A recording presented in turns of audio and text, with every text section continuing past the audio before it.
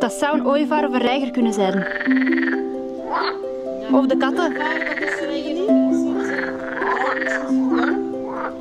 Reigers wel, maar...